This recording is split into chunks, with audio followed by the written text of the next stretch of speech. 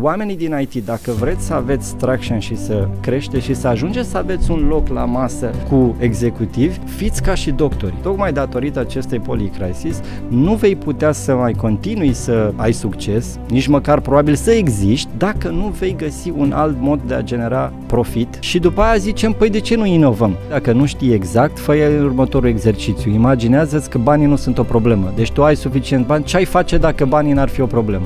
Astăzi ne întâlnim cu Cristian Păun, un IT român care a ajuns la vârful uneia dintre cele mai puternice corporații americane.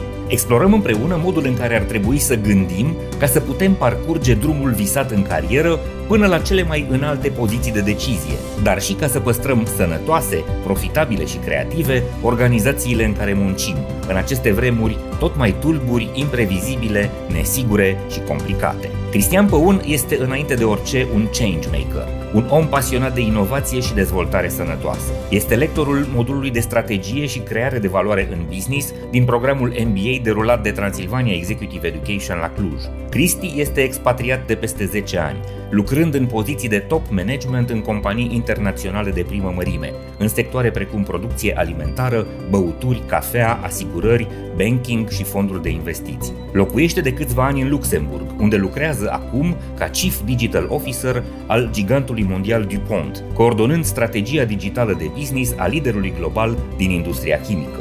Este membru al Forbes Technology Council, unde contribuie cu informații și opinii despre transformarea digitală și integrarea noilor tehnologii în businessurile moderne, cu focus pe inteligența artificială, automatizare și Internet of Things. Cristi a studiat inginerie electronică, licență și master la Politehnica din București și a obținut un MBA la British Academy of Business. Podcastul Hacking Work vă este oferit de DevNest, compania de software pasionată de oameni, idei și know-how digital. Acest episod este sprijinit de MedLife, furnizorul național de sănătate al României. Proiectele Hacking Work sunt găzduite de Cluj Business Campus, biroul unde te simți productiv și motivat într-o comunitate vie și plină de interacțiuni. Să vă fie de folos și acest episod.